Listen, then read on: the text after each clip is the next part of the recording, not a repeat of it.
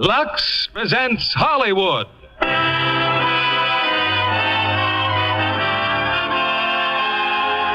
Lever Brothers Company, the makers of Lux Flakes, bring you the Lux Radio Theater, starring Clifton Webb and Lucille Ball in The Man Who Came to Dinner. Ladies and gentlemen, your producer, Mr. William Keighley.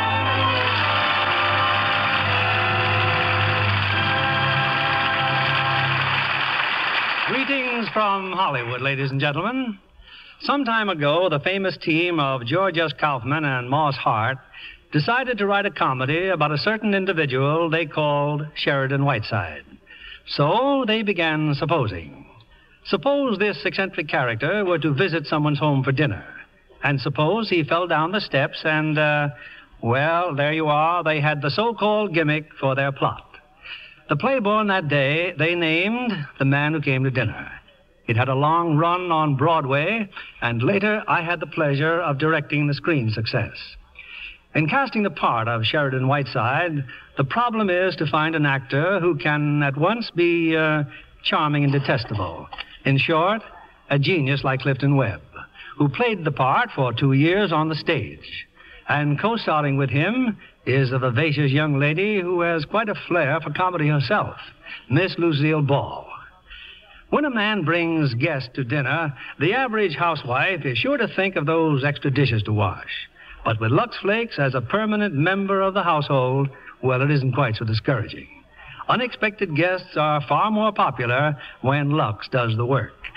And now, here's the man who came to dinner, starring Clifton Webb as Sheridan Whiteside and Lucille Ball as Maggie.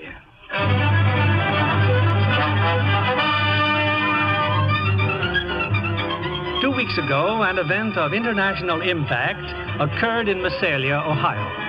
Sheridan Whiteside, celebrated critic, lecturer, radio orator, intimate friend of the great and near great, slipped on a piece of ice and fractured his hip. Result? The idol of the airwaves rests until further notice in the home of Mr. and Mrs. Ernest Stanley. Oh, isn't it wonderful, Ernest? At last he's coming out of his room in a wheelchair. Well, it's about time he decided to see some member of this family. Oh, you can't blame the poor man for being cross with us, dear. You know, he just never goes to dinner anywhere. And then he finally agreed to come here, and this had to happen. Uh. Here's the calf's foot jelly you wanted, Mr. Stanley. Oh, thank you, Sarah. Just a little something to cheer him up, Ernest. You know who phoned this time, Mother? George Bernard Shaw. And look, we're all over Time magazine. Yes, dear, I saw it. When do you suppose he's going to leave here? Phone going like mad day and night, messenger boys running in and out. Pardon me, Mrs. Stanley. Oh, yes, Miss Cutler. you mean he's coming out now? He is indeed. You may wheel our little patient out, Miss Preen. Oh, Mr. Whiteside. I uh, hope you're feeling better. I am suing you for $150,000. How's that? Y- y- you're what? I said I am suing you for a $150,000. Oh, oh, dear, my calf's foot jelly. Made from your own foot, no doubt. Mr. Stanley, since this village quack who calls himself Dr. Bradley uh, tells me that I should be confined in this moldy mortuary for at least another ten days, due entirely to your stupidity and negligence, I shall require exclusive use of this living room as well as that drafty sewer you call the library. I want no one to come in or out while I am in this room. Oh, but Mr. Whiteside, we have to go up the stairs to get to our room. Isn't there a back entrance? Why, yes, of course. Then but- please use that. Oh, I shall also require room for my secretary here, Miss Cutler. Uh, I shall have a great many calls, so please do not use the telephone. I sleep until noon and require absolute quiet throughout the house until that hour. Now then, where's your cook? Mr. Whiteside, if I may interrupt for just a moment. You may not, sir.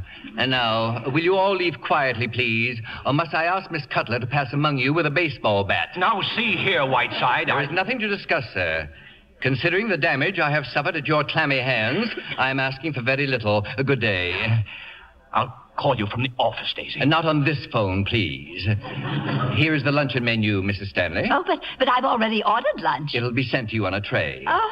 Miss Preen, get your fish hook, hooks off my wheelchair. I happen to be a registered nurse, Mr. Whiteside, and Go I and know... read the life of Clara Barton and learn how unfitted you are for your chosen profession. Oh, Well, Mr. Whiteside, shall I look in again this afternoon? If you do, Dr. Bradley, I shall spit right in your eye. Oh, what a sense of humor you writing fellows have. oh, uh, by the way, I, uh, I've been doing a little writing myself. I just happen to have a copy with me. It's called 40 Years an Ohio Doctor. And I shall lose no time in reading it, if you know what I mean. Much obliged, Mr. Whiteside. Now, don't forget our little pills. Well, Sherry, I must say you've behaved with all your accustomed grace and charm. Listen, Repulsive. I did not wish to cross this cheerless threshold. I was hounded and badgered into it. I now find myself, after two weeks of racking pain, accused of being without charm. What would you have me do? Kiss them? You know, when I finally give up this job, I too may write a book. A cavalcade of insult or through the years with Prince Charming. Good morning. Oh, no. My name is Harriet Stanley, Mr. Whiteside. I saw this holly framed green against the pine trees. It was the nicest present I could bring you. What was that? Mr. Stanley's sister, I've talked to her a few times. She's quite strange. Strange. She's right out of the Hound of the Baskervilles. you know, I've seen that face before somewhere. No nonsense. You couldn't have. Oh, well. Uh, Maggie, take a telegram. Uh, Columbia Broadcasting. You may schedule my Christmas Eve broadcast from Stanley residence in Mesalia, as I shall be unable to proceed to Hollywood. Stop. For special New Year's Eve broadcast, we'll have as my guests Jascha Heifetz, Katharine Cornell, Schiaparelli, the Lunts, and Albert Einstein, with Haile Selassie on short shortwave from Ethiopia. Oh, Whiteside. Sherry, are you sure you'll be able to leave after Christmas? Of course I will. Uh, send a cable to the Dalai Lama, Lhasa, Tibet. Dear Boo Boo, schedule unchanged. Can you meet me in Calcutta July 12th? Dinner 8.30, Whiteside. Wire Arturo Toscanini. Uh, counting on you January 4th, Metropolitan Opera House, my annual benefit for paroled murderers. Will you have quiet supper with me and Ethel Barrymore afterwards? Whiteside. Hello? Who? Mrs. Stanley is too drunk to talk. Well, what's this? A cable from that dear friend of yours, Lorraine Sheldon. Well, can't you read? Sherry, my poor sweet lamb, have been in Scotland on shooting party with Lord Bottomley and only just heard of your poor hip. Sailing Wednesday, Queen Mary. Cannot wait to see my poor sweet Sherry. Your blossom girl, Lorraine. In the words of the master, I may throw up. Don't be bitter, Puss. Just because Lorraine is more glamorous than you are. Here, give me the rest of those cables. Lorraine Sheldon, Lord Bottomley, my Aunt Fanny. Ah, here's one from Destiny's Tot. Oh, yes, England's little rover boy, Beverly Carlton. He's leaving Honolulu, be in Hollywood next week. Hollywood next week, eh? Well, why couldn't he stop here on his way out to New York? Uh, send a cable. Uh, Beverly Carlton, Royal Hawaiian Hotel, Honolulu. If these people intend to have their friends use the front door, Well, what do you want them to use? A rope ladder? I will not have a lot of mildewed grave robbers rushing in and out of this house. Good morning, Sarah. There's nobody home. The Stanleys have been arrested for dope peddling. Go away. Good morning, Mr. Whiteside. Maggie, get rid of him. Get I'm rid of him. Jefferson of the Mesalia Journal. Sherry, I told you about Mr. Jefferson. He wants to interview you. Oh, yes, the fellow who's been squiring you to the movies. Uh, what do you do, Mr. Jefferson? Sit on the balcony playing footsies with her? Uh, well, I warned you about him, Bert. Uh, pass me that box of goodies, will you please? You know, Mr. Whiteside, you're the biggest news to hit Mesalia since the end of the war. Hmm. Pecan butternut fudge. Rather toothsome. Time for your pills, Mr. Whiteside. Oh, my, you mustn't eat candy. It's very bad for you. Miss Preen, my great Aunt Jennifer ate a whole box of candy every day of her life. She lived to be a 102, and when she had been dead for three days, she looked better than you do now.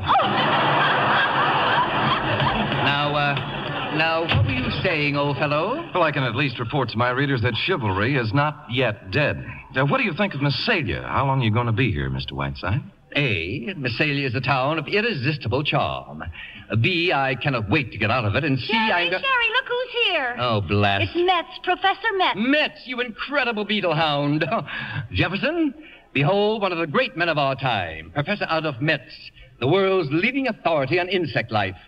Metz, stop looking at me adoringly and tell me why you're here.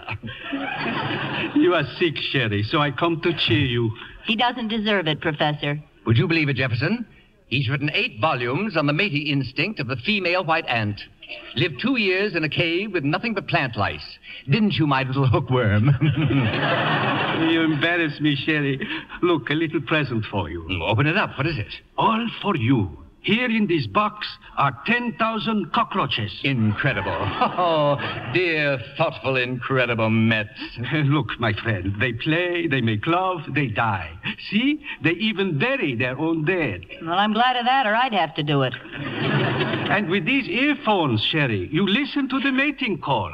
Here, you listen. Hmm.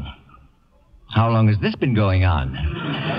Did I hear the word cockroach? Take a look, Mrs. Stanley. Ten thousand of them. They're mine, everyone mine. Mr. Whiteside, I will not stand here and allow you And to then have... go back upstairs. Uh, Metz, you will stay for the day, of course. Uh, stay for lunch, Jefferson. Uh, Maggie, tell the cook there'll be two more. And close the door. I don't want a lot of prying people prying on their betters.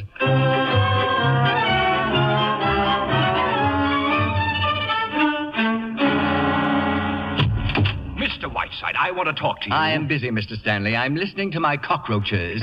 Now, Ernest, Ernest, don't lose your temper, dear. I tell you, I've stood all I'm going to stand. Indeed. I have just received a bill from the telephone company. Long distance calls, $984. Mr. Whiteside, I realize you're a distinguished man of letters. Oh, yes, of course, we both do. Please. But ever since you came here, we have not been able to call our souls our own. I have to tiptoe out of the house in the morning. Now, Ernest. And I come home to find a man putting cockroaches in the kitchen. Oh, no. They just escaped, dear. He was looking for them. Have you quite finished? No. I go down to the cellar this morning and trip over an octopus that William Beebe sent you. And stop pawing me, Daisy. Mr. Whiteside, my husband didn't mean that. Yes, I did. I meant every word of it. You have one point in which I see some slight justice. I do not expect you to pay for my telephone call. How good of you, Mr. Whiteside. I shall instruct my lawyers to deduct it from the $150,000 I'm suing you for. Oh, this is the end, Daisy. Simply the end. And now thank you not to trip over that octopus which once belonged to Chauncey M. Depew. Oh, well, have have you two come to scold me too? Gee, Dad's sure mad, isn't he, Mr. Whiteside? Good, good, good, good evening, Mr. Whiteside. Now look here. I am by nature a gracious and charming person. If I err at all, it is on the side of kindness and amiability.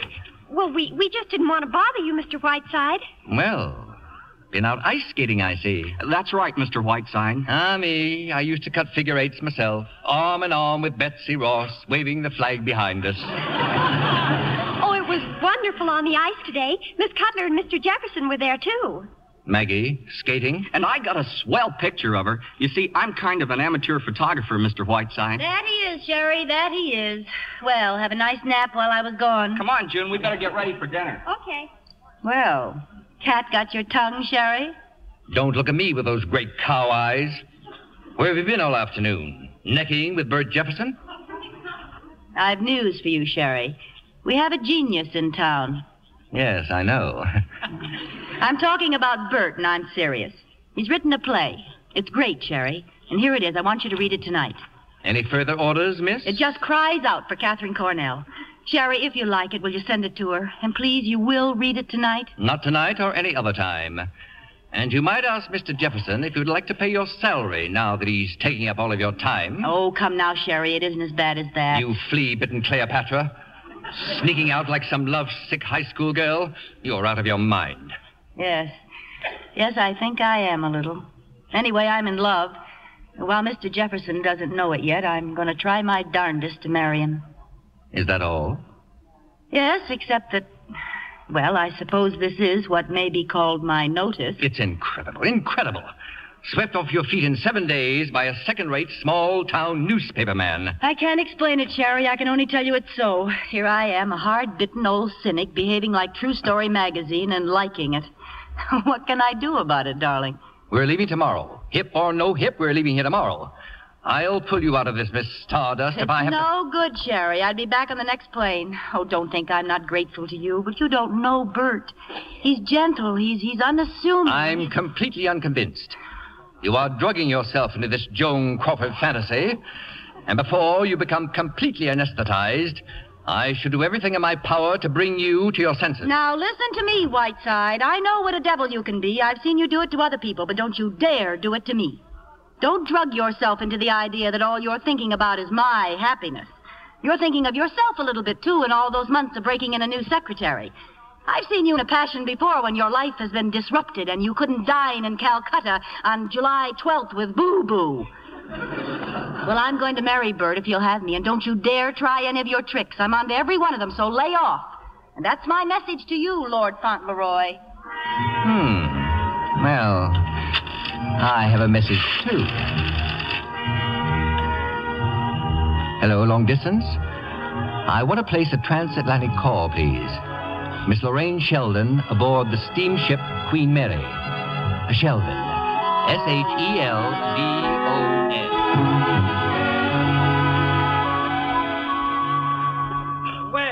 Well, good evening, Mr. Whiteside. Come back in Arbor Day, Dr. Bradley. I'm awaiting a most important telephone call. Now, what would be the best news I could possibly bring you? You've been stricken with hydrophobia. Mr. Whiteside, you are a well man. You can leave here tomorrow. Well, sir, I looked at those little x-rays again this afternoon, and guess what? All this time I've been looking at the wrong x-rays. you what? Yes, sir. All this time I've been looking at old Mrs. Moffat's x-rays. Lower your voice, will you? But aren't you pleased? Oh, delighted, delighted, but... But your news comes at a very curious moment. Uh, oh? Uh, oh, Dr. Bradley. I've... Uh, I've been reading your book, uh, 40 Years, uh, something or other, I believe. Yes, Mr. Whiteside, yes. I consider it one of the great literary contributions of our time. Mr. Whiteside. It has its little rough spots, but of course, if I was, I was hoping I could stay here in Mesalia and work with you. Mr. Whiteside. But you see, if, if my lecture bureau learns that I am well, they'll insist that I fulfill my engagements. Therefore, Dr. Bradley, we must not tell a soul. Not even my secretary, Miss Cutler. You understand? Not even my own wife, sir. Fine, fine. We can start work tonight. I've got one patient that's dying, and then I'll be perfectly free. I think uh, tomorrow morning may be better. Oh, uh, this is a private call, Doctor. Uh, you'll forgive me. Tomorrow morning it is? Yes. Oh, you've made me very proud. I'm so glad, yes. Proud, yes, yes. sir. And humble. Yes. Hello? Uh, good, good. Uh, put her on. Hello? Is this my blossom girl? How are you, my lovely? Now listen closely, my pet.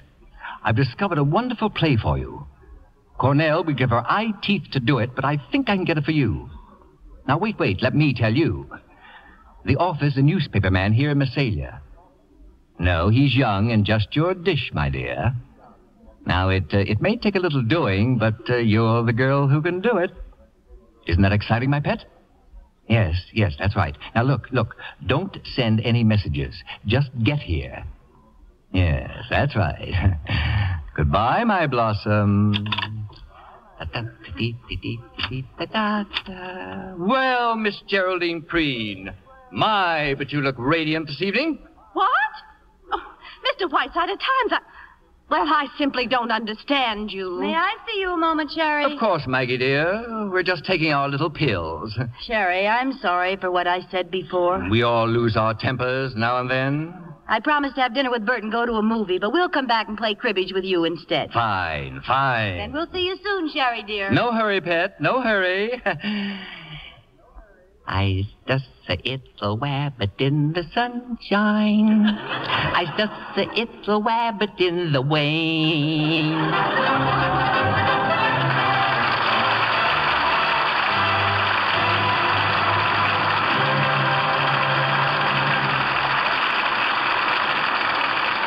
Before our stars return with Act Two of The Man Who Came to Dinner, here's Libby Collins, our Hollywood reporter. With a poser for you, John. What famous star wears fuchsia stockings with fuchsia and chartreuse shoes in her latest picture? A dancer? Mm, you're warm. She starred with Victor Mature and Phil Harris in a 20th Century Fox production. And her lovely legs are famous. Oh, Betty Grable, of course, in Wabash Avenue. Right. Oh, her costumes are ravishing in Technicolor. She had dozens of nylons in exquisite shades made especially for the role. They cost $9 a pair. Wow. I guess Victor and Phil are glad they didn't foot the bill. Or did I steal a pun from Phil? oh, the studio saw to it that Betty's nylons were handled with loving Lux care. a good idea for nylons at any price. You're right. Of course, Betty's a Lux Flakes fan from way back. All her own lovely nylons are washed with wonderful Lux. It makes them last ever so much longer. Dancing practice for Wabash Avenue must have been hard on Betty's stockings. Indeed, it was. But Betty gets wonderful wear, even from sheer nylons. After all, scientific strain tests show that nylons last twice as long with Lux Flakes Care. It's amazing how stockings go into runs much sooner when they're washed with strong soaps or rubbed with cake soap. Lux stockings last twice as long. And colors stay truer. Well, I'm sure the smartest nylons in the Easter parade will have that lovely Lux look. Now, here's our producer, Mr. William Keighley. Act two of The Man Who Came to Dinner, starring Clifton Webb as Sheridan Whiteside and Lucille Ball as Maggie.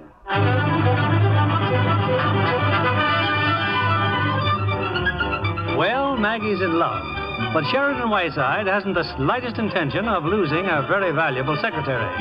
He's counting on a real expert to break up the romance, Lorraine Sheldon, due in Mesalia today, the day before Christmas. Just look at these Christmas presents, Miss Cutler, all for Mr. Whiteside. Well, Sarah, you see, Christmas is Mr. Whiteside's personal property. He invented it, and it belongs to him. My lands from Shirley Temple, Mr. Belvedere, gorgeous George. and Mr. Whiteside's tree is so beautiful, too. And Mr. and Mrs. Stanley had to put their Christmas tree in their bedroom, you know. They can hardly undress at night. What's this one, Miss Cutler? That's from his sponsor, Sarah, a full year's supply of cream of mush. and he'll give it right back to them over the air. The things he finds time to do. Yes, he certainly sticks his nose into everything. Uh, Miss Cutler, you haven't seen the family, have you? Aren't they upstairs? Well, I mean the young ones. Nobody seems to know where they went after Mr. Whiteside talked to them. Oh, Christmas shopping, probably. Well, if I'm going downtown, I'd better let him know. Sherry, may I come in? Come in, Elsie Dinsmore. That must have been quite a session you had, Sherry, with the Stanley heirs. What did they want? Good sound advice, Madam Butterfly. And they came to the right place for it. You know, June thinks she's in love with some fellow in her father's factory. He's a labor agitator, Sherry. She admits it. And Richard, well, he wants to quit high school and go around the world. Really? Sherry, you didn't agree with. Oh, well. Since you don't need me, I'm going downtown to meet Bert. You're free to go as come as you please, dear. The radio men may get here before I'm back. Better start cutting the script, Sherry. What time does Beverly Carlton arrive? Shortly, I hope. Staying over? No, no, he has to go on to New York. I won't be long, Sherry. Another package for you, Mr. Whiteside. Only it's a crate, Mr. Whiteside, with an expressman. Come in, my good man. A crate, eh? Some kind of animal, Mr. Whiteside. The label says it's from. From Admiral Richard E. Byrd. Why, they're penguins. Oh, look at them in there, Sarah. Directions for feeding are right on top. It says to be fed only whale blubber, eels, and cracked lobster. They got seven up this morning and liked it. Just look at the little fellows. How are you, my pretties? Uh, Sarah, you better order a couple of dozen lobsters. I don't suppose there's any whale blubber in Mesalia. Well, well, Merry Christmas. Oh, yes, there is. uh, take the crate, Sarah, and open those slats a little. They seem so crowded in there. You bet, Mr. Whiteside. Mr. Whiteside, it's been a full week now. My book. When are we going to start on my book? Mr. Whiteside, they're getting out of the crate. Uh, doctor, will you go in there and capture them, please? Cockroaches again? No, uh, penguins, four of them. Oh, and uh, uh, try to amuse them, uh, please, until I come in. Who is it, Sarah? Who's at the door? Sherry, Sherry, my sweet. Lorraine, my blossom girl. Look at that poor, sweet, tortured face. Let me kiss it. How drawn you are. Sherry, my sweet, I could cry. all right, all right. You've made a very nice entrance, dear. Now just relax. But, Sherry, darling, I've been so worried in seeing you in this wheelchair. It happens to be the most comfortable chair in the house. Now, uh, take off that skunk and tell me everything. Darling, I'm so relieved you look perfectly wonderful. I just dashed through New York. Now, don't be coy, Blossom Girl. I want to know all about you and that splendid, splendid bit of English mutton Lord Bottomley. Have you hooked him?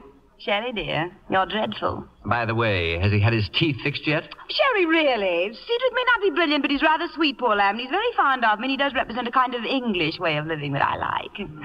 So don't be surprised if I am Lady Bottomley before very long. Lady Bottomley. Hmm.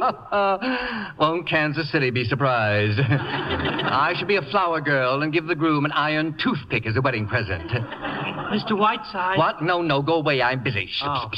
Who's that? He's fixing the plumbing. What about this play, darling? After all, I came all the way here on Christmas Eve. Well, at the office, a young fellow named Bert Jefferson. He brought the play, the play to me with the understanding that, that I'd send it to Kit Cornell. It's a magnificent part, and I feel terribly disloyal to Kit, but there you are. Darling, how can I ever thank you? Uh, did he know I was coming, Mr. Jefferson? No, no, no, you're, you're just out here visiting me. Just get him to take you to dinner and work around to the play. Good Lord, I don't have to tell you how to do these things. How'd you get all your other parts? Sherry! Now, run back to your hotel and get into your working clothes. By the way, who do you think's paying me a flying visit?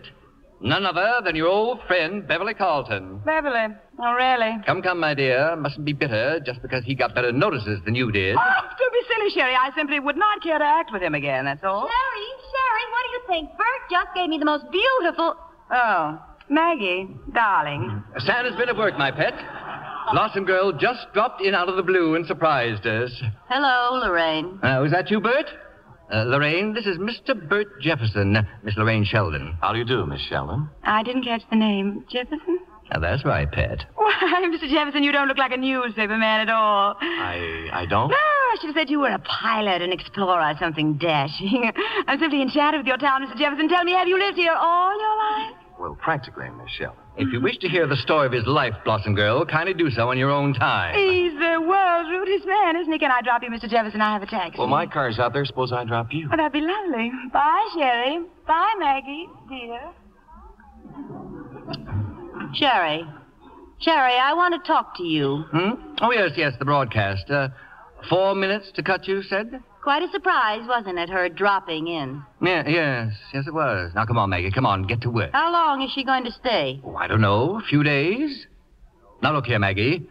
Just because a friend of mine happens to come out to spend Christmas Got with some me. more company, Mr. Whiteside. He's a foreigner. Sherry, my dear, and a magpie. Beverly! Come in here, you Piccadilly pen pusher, and gaze upon a soul in agony. Don't tell me how you are, Sherry, dear. I want none of the tiresome details. I have only a little time, so the conversation will be entirely about me, and I shall love it. Maggie, dear, say something beautiful to me. Hi. As for you, Sherry, without going into mountains of self-pity, how are you? I'm fine, you presumptuous cockney. Now tell me, how was your trip? Fabulous. By the way, did I glimpse Lorraine Sheldon in a motor car just now? You did indeed. She's paying us a Christmas visit. Dear girl. They do say she set fire to her mother, but I don't believe a word of it. Sherry, my evil one, not only have I written the finest comedy since Moliere, but also the best review since my last one, and an operetta that frightens me. It's so good. I shall play it for eight weeks in London, that's all. No matinees. Magpie, why don't you desert this cannonball of fluff and come with me? Be careful, Beverly. You're catching me at a good moment. Tell me, Beverly, uh, did you have a good time in Hollywood? Three unbelievable days. I saw everyone from Adrian to Zanuck. They came, poor dears, as to a shrine. What about Banjo? Did you see my wonderful banjo? He gave a dinner for me. I arrived in white tie and tails to be met at the door by two bewigged flunkies who quietly proceeded to take my trousers off. Dear incomparable Banjo. Now, Mr. Whiteside. No, no, no, just go away. Psst, psst.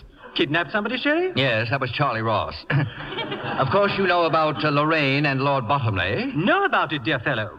Practically no one's betting on the Derby this year. They're all making book on Lorraine. Have you ever met Lord Bottomley, Magpie? Not a very good shooting today, blast it. Only six partridges for four grouse and the Duke of Sutherland. Good Lord, that's Bottomley to the very bottom. A ripping, a ripping debate in the House today. Old Basil spoke for, for, for four hours, dropped it dead at the end of it. Ripping. Oh, you're making it up. No one sounds like that. it's so good, it's uncanny. Sherry, darling, I must run. I can only tell you that my love for you is so great that I changed trains at Chicago just to wish you a Merry Christmas. If that's the radio people, Maggie, get rid of them. Hello. Oh, hello, Bert.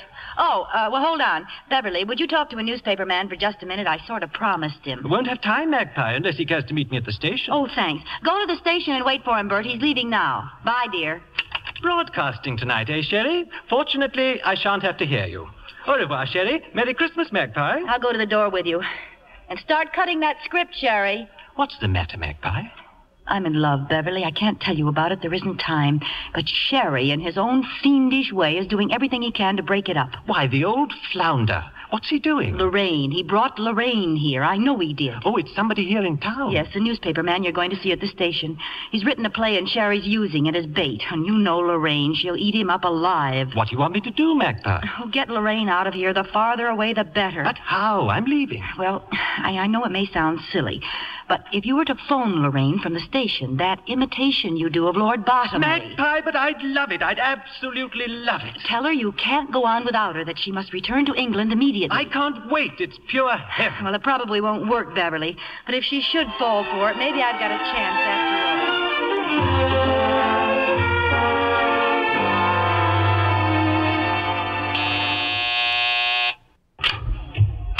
Oh, hello, Lorraine.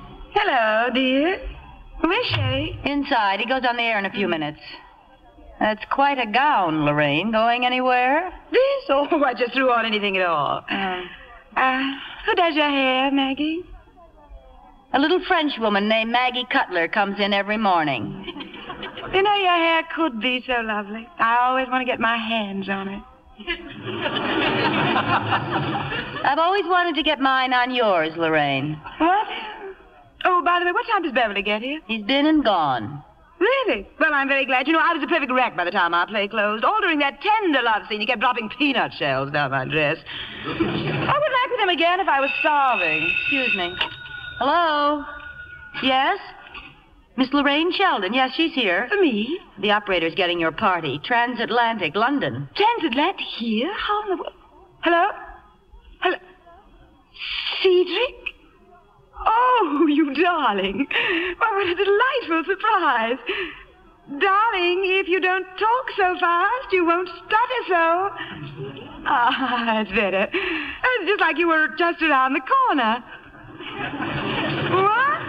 Oh, darling. Oh, my sweet. Oh, my darling. See, uh, dearest, would you wait just a moment, Maggie? Would you mind? It's Lord Bottomley, a very personal call. No, not at all, Lorraine. Not at all. Yes, my dearest. Will I marry? Oh, yes. Yes, a thousand times yes. Uh, darling, darling, you're stuttering again. What?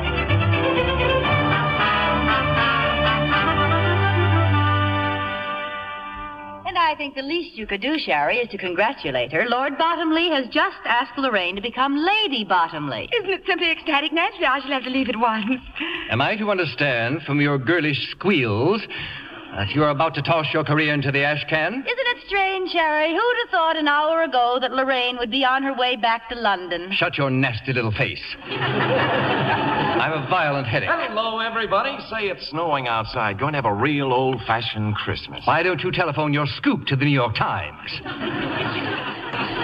Bert, Miss Sheldon has to leave town very suddenly. Isn't that a shame? Well, no bad news, I hope. Oh, wonderful, enchanting news, Mr. Jefferson. Hmm. Uh, anybody admired my Christmas present yet, Maggie? Oh, dear, I forgot. Look, everybody. To me from Jeff. Maggie, what a charming bracelet. Isn't it sweet, Jeff? Will this drivel never stop?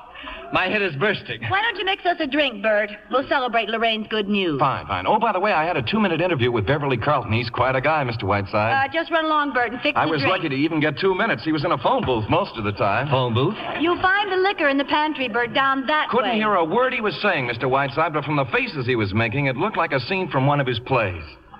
So Mr. Carlton was in a telephone booth at the station. I didn't think he'd ever come out. Bert, will you please? Uh, yes, and uh, make mine a double, will you, Jefferson? My headache seems to have suddenly disappeared. Come along, Maggie. Better show me where the pantry is. Good old Bert. He couldn't hear what he was saying, but from the faces he was making. Oh, Sherry, what is this? What's going on here? Ah, Blossom girl, you have just played the greatest love scene of your career with your old chum, Beverly Carlton. That's not true. I was talking to Cedric. What do you mean? I mean, that was Beverly you poured your girlish heart out to, not Lord Bottomley. You've heard him do Lord Bottomley before, haven't you, dear? Yes, yes, of course. But why would he do, want to do such a thing? This is one of the most. oh, no. No, the cat, the absolute unutterable cat, the dirty, rotten louse. Why, I'll take. Steady, Blossom, steady. Don't you realize I won't ever be able to show my face in England again? But why? Why would he do this to me? It doesn't make sense. It... Maggie. Yes, Lorraine? I think I'm beginning to understand everything. Yes, Maggie. That's a very charming bracelet Mr. Jefferson gave you, isn't it, dear? Has something upset you, dear? And to think that I nearly went back to work. Wild horses couldn't drag me out of here now, Maggie. We're almost ready, Mr. Whiteside. On the air in two minutes. Oh, who is he? Just what on the radio, man, Check that Blossom. mic again, Harry. Uh, here comes the Jefferson special. Uh, have we time? Oh, I'm sure we have, Mr. Jefferson. I'm not leaving after all. My plans are changed. Oh, it's fine. And I hear you've written a simply marvelous play, Mr. Jefferson. I want you to read it to me tonight. We'll go back to the hotel right after dinner. Why, I'd, uh, I'd be delighted. Maggie! Why, I'll bet you arranged this whole thing. Well, it's the finest Christmas present you could give me. Yes, I thought you'd like it. Oh, it's no use. I'm getting out of here. Is he in there? Is Whiteside in there? Not now, Mr. Stanley. I'm about to go on the air. Whiteside. My son has just run off on a freighter. He says he's going around the world to take photographs. And my daughter's eloped with a with an anarchist. I know he is, and they both say that you that you told them to do it. Quiet, please. Fifteen seconds. How Mr. Whiteside. dare you? This is the most outrageous thing I've ever. Oh, I see you're still busy. Without a doubt, you are the most impossible man I've ever heard of in my life. For heaven's sake, quiet! Scott, stand by. Oh, thanks, Harry. Quiet, please. Good evening, everybody. Cream of Mush brings you Sheridan Whiteside. This is Whiteside speaking. On this eve of eves, when my own heart is overflowing with love and kindness, I think it is most fitting to tell you once again the story of that still and lustrous night, nigh unto two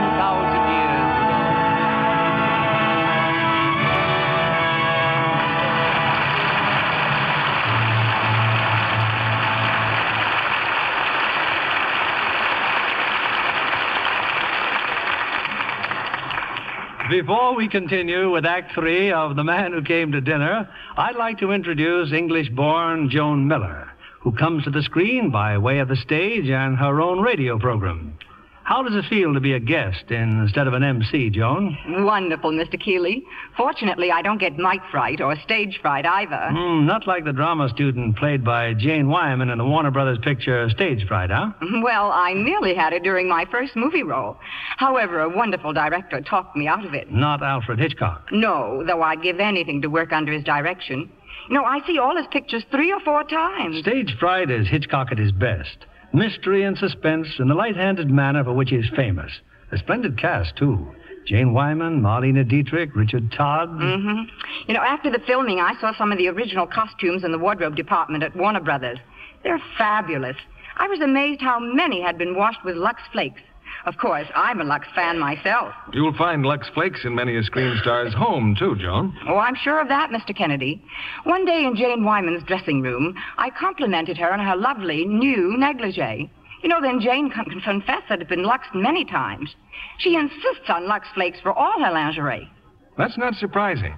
In test after test, slips and nighties that were washed with Lux Flakes looked lovely. Yes, really lovely. Three times as long as those washed the wrong way. You've seen, I'm sure, how careless washing can make lingerie disappointingly drab. It's no wonder thousands of girls follow the stars, give all their nice things gentle Lux Flakes care for that lovely Lux look. Thank you for coming tonight, Joan Miller. We pause now for station identification. This is CBS, the Columbia Broadcasting System.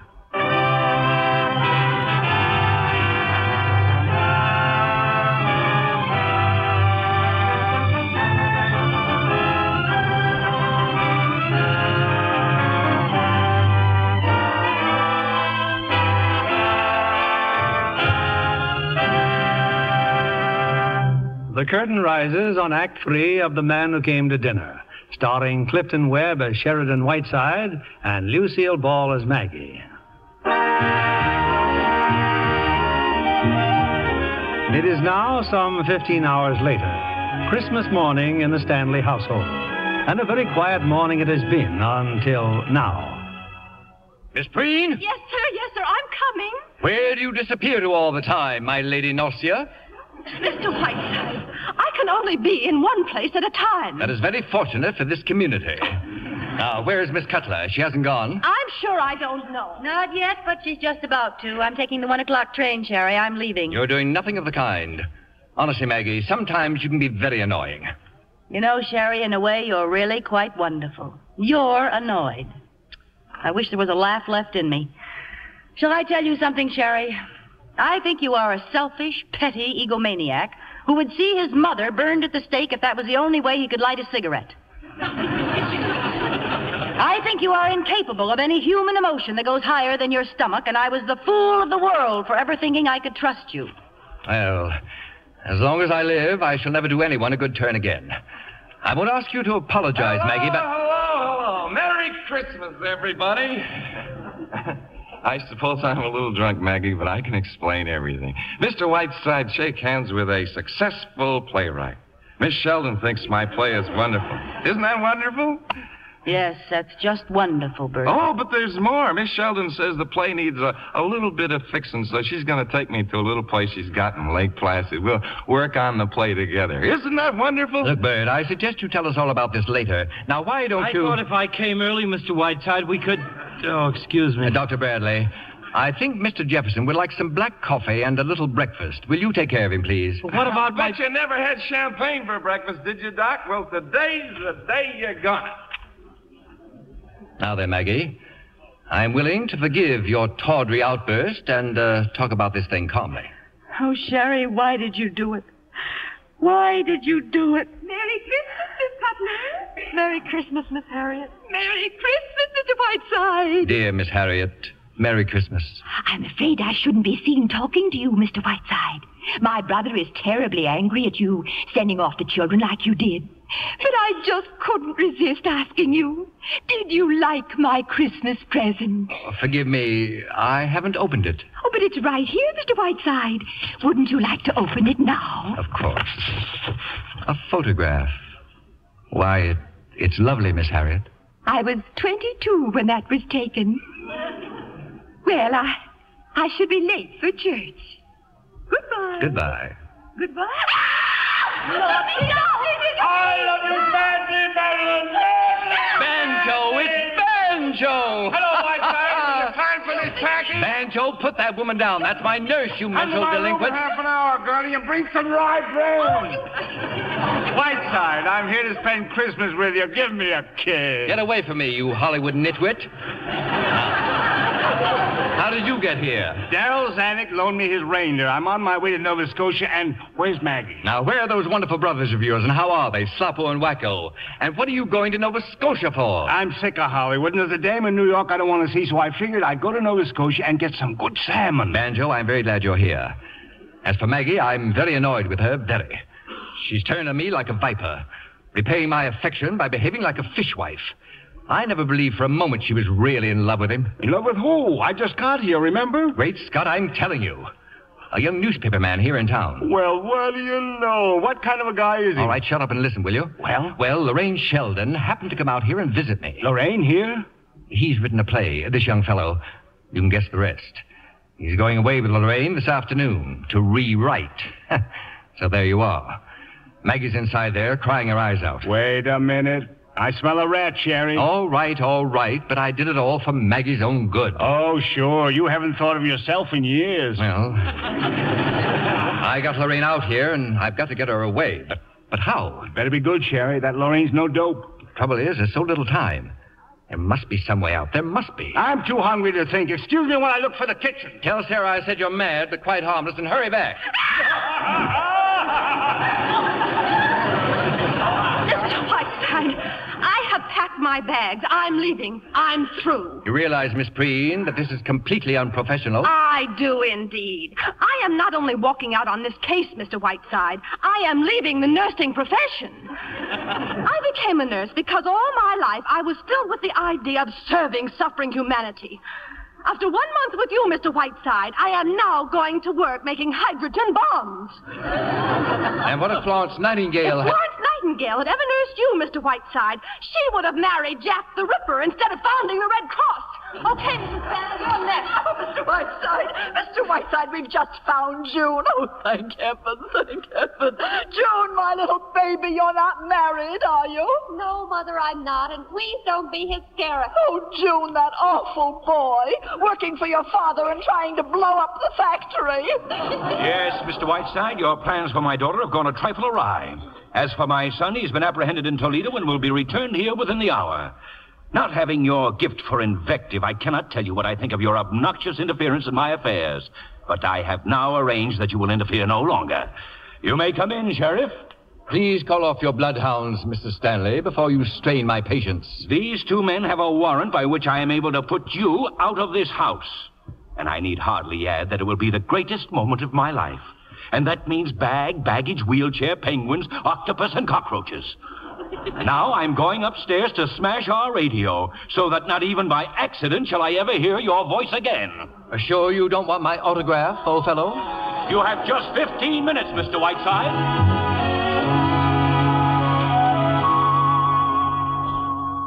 Well, Whiteside, I got a pretty fair omelet in the kitchen, but no ideas. It's no use, Banjo. My host has sworn out a warrant. Baby's rosy little body is being tossed out into the snow in 15, in 14 minutes. What would he do a thing like that for? The point is, the master is growing a little desperate. Hey, if I knew where Lorraine was, I could get a car and run her over. It wouldn't hurt very much. Banjo. Banjo, for heaven's sake. Wait a minute. Hmm? Is that a taxi outside? Uh, yeah, it's Lorraine. What would happen if I just went out there and slugged her? Get out of here, Banjo. Go and talk to Maggie for a minute, and don't let her leave here. Darling. I was just swept off my feet by the play. And you know, quite apart from anything else, Bert is really a very attractive man. Hmm. Makes it rather a pleasure squaring accounts with little Miss Vittry. that is not Banjo, is it? Don't tell me he's here. Lady Puss, how are you? Very well, thank you. And you, Banjo? Oh, fine, Mamma Mia, fine. So you feel fine, huh, Lorraine? Yes, of course I do. Excuse me, Sherry. I've been getting your papers in order. Here's a list of all your engagements through March. I'm looking forward so to Lake Placid, Banjo. Bert's the kind of man who'll do all winter sports beautifully. But will he get time?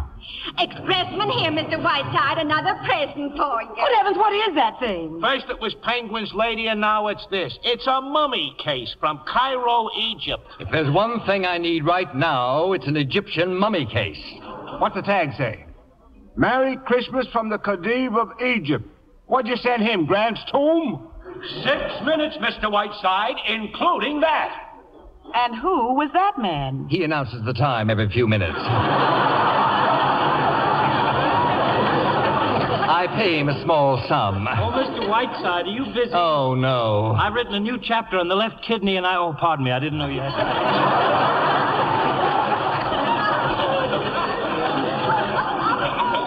You know, I think this mummy case is rather beautiful. Just think, Sherry, this mummy case. Here was a woman like myself, a woman who once lived and loved, full of the same passions, fears, jealousies, hates. And what remains of it now? Just this, nothing more. Going somewhere, honey? I want to stand inside. Look at me, Sherry. A span of 4,000 years. And here I am, another woman living out her life. I want to cry. Whiteside, I think I got an idea. Yes, so have I. What about? Don't move, don't move, my dear. Don't even talk. Just stand there, my blossom. There's something about your expression as you stand in that case like. like a halo. Why, Sherry, how sweet. Lorraine, dear, in this single moment you approach the epitome of your art. You have given me the greatest Christmas gift of all the memory of you standing here in this mummy case. Why, darling, I, I'm all choked up. Make sure it's locked, Banjo. You think she'll be all right in there? Sure, she can breathe easy. I'll let her out as soon as we get on the plane. What are we going to do now? How do we get this out of here? Shh, careful. Here's Maggie. What about all all these letters, Sherry? What about this photograph? Oh, Miss Harriet gave that to me. Uh, throw everything else away. I'll see you before I leave, Banjo. Oh, what happened to Lorraine? Uh, She just stepped out for a moment, dear. Banjo. This photograph. Look at this photograph. I've got it. It came to me just like that. What came to you?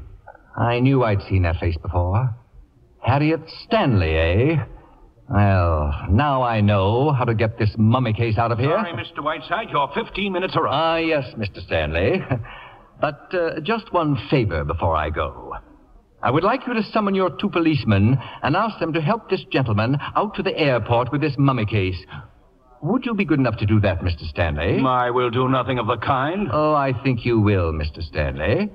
Or shall I inform my radio audience next week that your sweet old sister, Harriet Stanley, is none other than the famous Harriet Sedley, who murdered her mother and father with an axe 25 years ago in Gloucester, Massachusetts? Mr. White. How did that little jingle go now? Oh, yes. Harriet Sedley took an axe and gave her mother 40 whacks. And when the job was nicely done, she gave her father 41. Officers, will you come in, please? Mr. Stanley we'd like you to help him with this mummy case. Right, Mr. Stanley? Yes, yes. Banjo, my love, you're wonderful. I may write a book about you. Don't bother. I can't read. Goodbye, Maggie. Hey, don't drop the case, boys. It contains an antique. Sherry, what did he mean? Oh, no, you don't mean the Lorraine. She is indeed. Oh. the field is clear, and you have my blessing. Oh, Sherry, Sherry, you old reprobate. My hat and coat, Maggie. Oh, and I'll take your railroad tickets. I'm leaving for New York. You're leaving. Don't argue, rat girl. Do as you're told. Yes, Mr. Whiteside. Are you very busy, Mr. Ah, Whiteside? yes, Dr. Bradley, very busy. But if you ever get to New York, Doctor, try and find me. Goodbye, Maggie, my lamb. Oh, Sherry, you're wonderful. Yes, aren't I? Oh, Jefferson, my boy. I've decided to take your play to Katharine Cornell after all. You'll never know the trouble you've caused. Merry Christmas, everybody. Merry Christmas, Mr. Whiteside. Oh, look at him, Bert. There goes the most. Wo- oh! Yes, dear, there he goes, right on his celebrated ear. Oh, Whiteside! Mr. Whiteside! He fell down again. Ah. Poor Mr. Whiteside ah. slipped on the ice again. Bert, help them, help them carry him in. Preen, I want Miss Preen, Miss Preen. As for you, Mr. Stanley, I am now suing you for $350,000.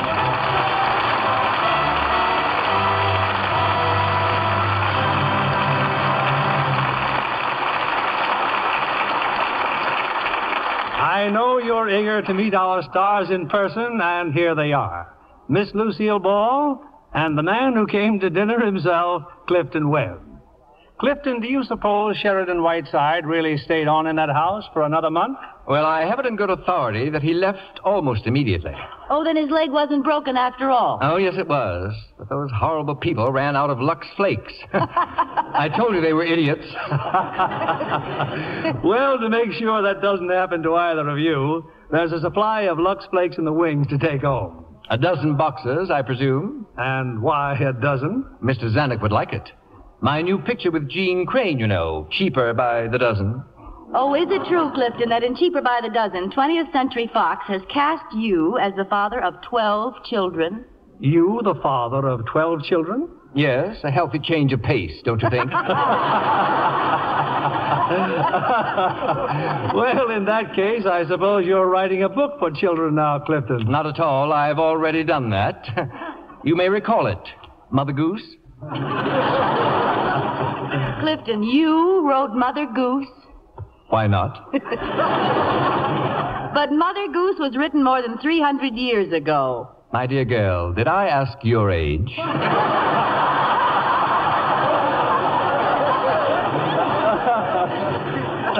well, let's change the subject. Bill, you said your show next week was going to be something special. Yes, Lucille, it is.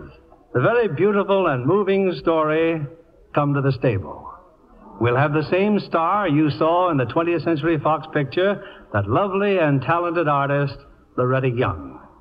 And in his original role, Hugh Marlowe, making his first appearance on this stage. I know you'll enjoy them in this bright and tender drama. That will be a wonderful radio play, Bill. Good night. Good night, Lucille. Clifton? Good night. Are you under the impression that I'm leaving? yes, Clifton, good night. And please be very careful going down the stairs.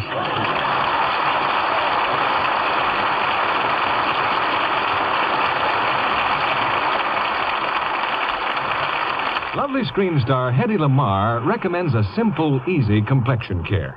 She says, I never skip my beauty facials with Lux toilet soap, not for a single day.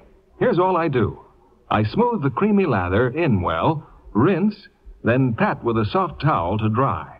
Wonderful how soft and smooth my skin feels afterwards. Try Hedy Lamarr's Lux Soap Beauty Care. It really works.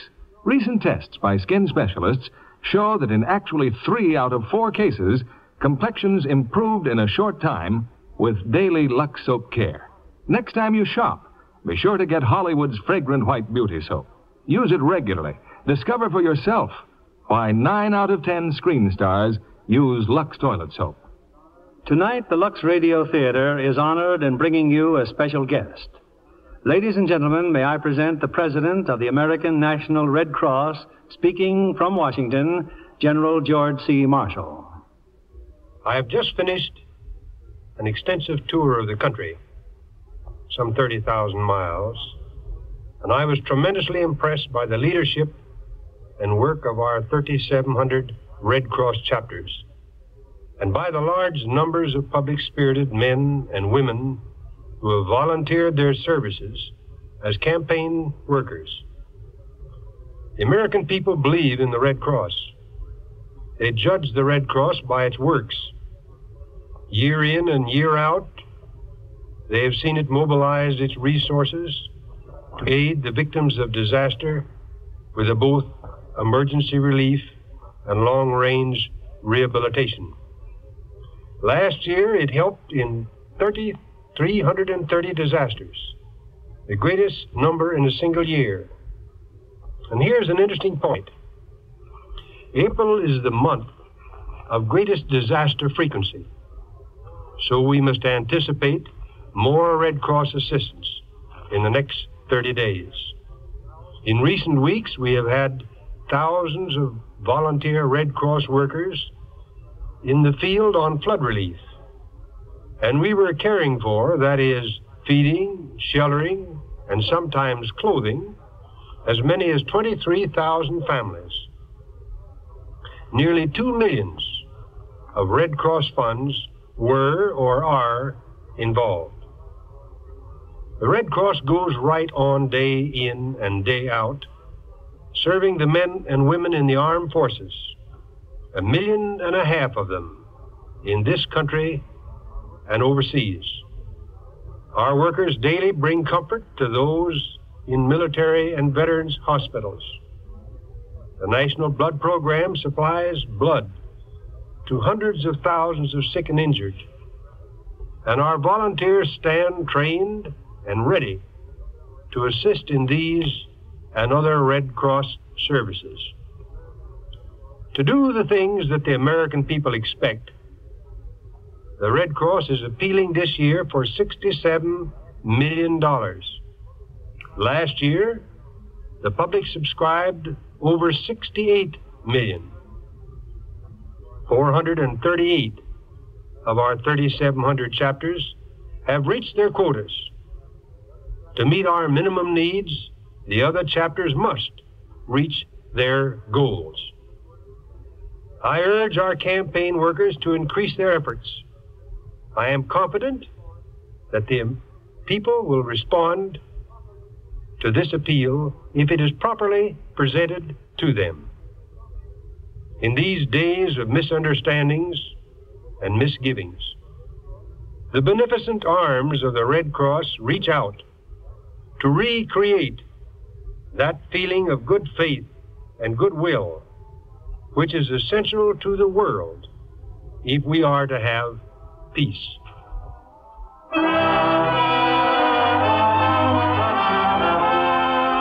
Lever Brothers Company, the makers of Lux Flakes, join me in inviting you to be with us again next Monday evening when the Lux Radio Theater presents Loretta Young in Come to the Stable with Hugh Marlowe.